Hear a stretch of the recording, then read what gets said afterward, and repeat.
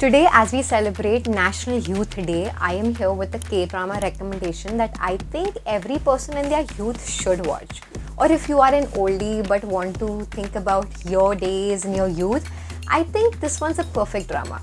Now, I had a lot of options to choose from, a lot of good dramas, but I ended up choosing something that is relevant to the current trends and will suit everyone's taste right now. So it's a safe bet.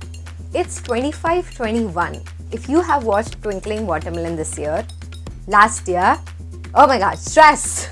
Oh, stress! Oh my god, stress!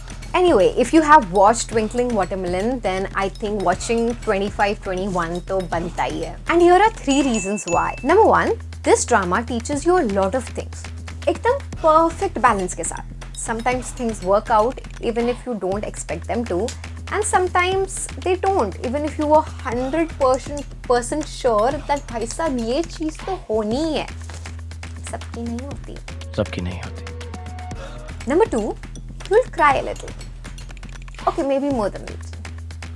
मतलब मैं चार घंटे तक रोई तुम लोग अपना अपना देख लो It's about the struggles of being in your teenage years and stepping into your 20s. The drastic changes it brings in your life and sometimes how we are not so ready to deal with them.